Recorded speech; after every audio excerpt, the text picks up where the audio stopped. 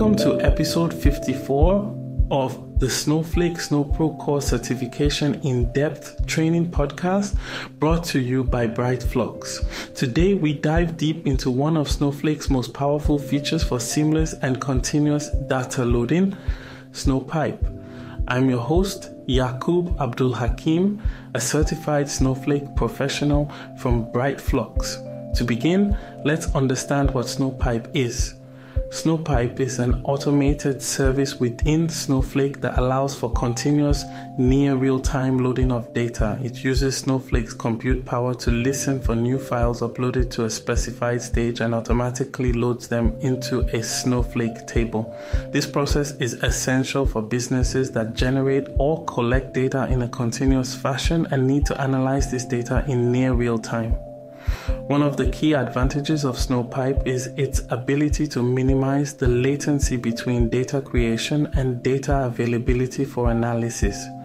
By automating the data load process, Snowpipe ensures that data is ready for query almost immediately after it's generated.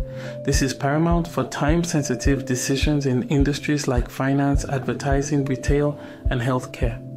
Snowpipe operates by listening for new files in an external stage like an S3 bucket, Azure Blob Storage, or Google Cloud Storage linked to Snowflake. Um, once new data is detected, it triggers a load process using Snowflake's compute resources. Snowpipe leverages microbatching to efficiently process these loads. Unlike traditional batch processing, which might run on a fixed schedule, Snowpipe's micro batches allow for more frequent and smaller data loads, ensuring data freshness and reducing the time to insights.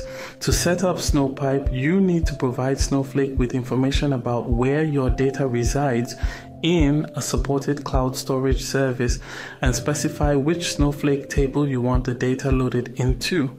You'll also need to configure file format options and data transformation policies if necessary.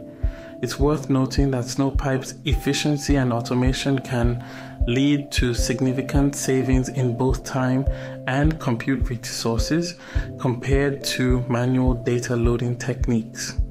Best practices for Snowpipe include proper monitoring and alerting Snowflake provides functionalities to monitor Snowpipe's performance and the status of data loads.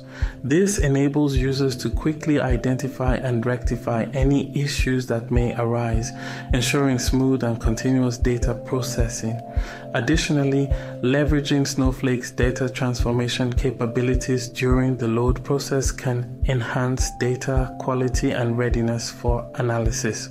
For those preparing for the SnowPro Core certification exam, understanding Snowpipe's architecture, setup, process, cost considerations, and best practices is crucial.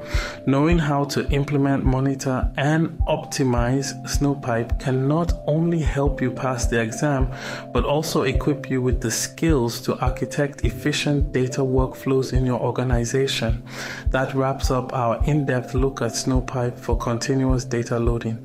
Remember, the ability to integrate and analyze data seamlessly is key to unlocking valuable insights that can drive your business forward. Snowpipe is a powerful tool in the Snowflake ecosystem that facilitates this, and mastering it can be a significant advantage.